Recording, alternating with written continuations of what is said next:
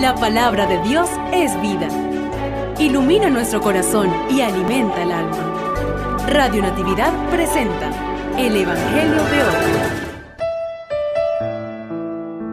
Lectura del Santo Evangelio según San Juan, capítulo 3, versículos 7 al 15. Gloria a ti, Señor.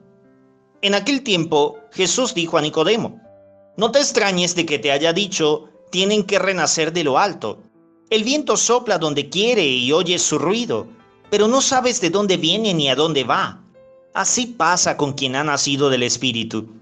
Nicodemo le preguntó entonces, ¿cómo puede ser esto? Jesús le respondió, ¿tú eres maestro de Israel y no sabes esto?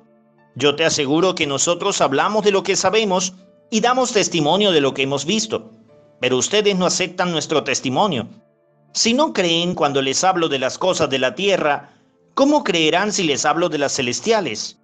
Nadie ha subido al cielo sino el Hijo del Hombre, que bajó del cielo y está en el cielo. Así como levantó Moisés la serpiente en el desierto, así tiene que ser levantado el Hijo del Hombre, para que todo el que crea en él tenga vida eterna. Palabra del Señor. Gloria a ti, Señor Jesús.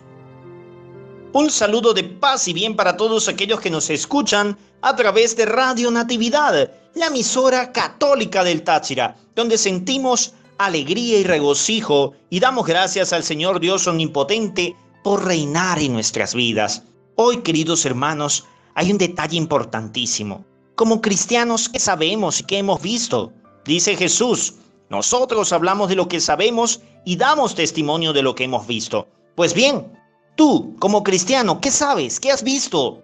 Porque de eso que sabes y que has visto, das testimonio con tu vida. Y si no sabes nada, si no has visto a nada, si no conoces a Dios todavía en su palabra, ¿cómo puedes decir que lo amas? ¿En serio? Pregúntate eso.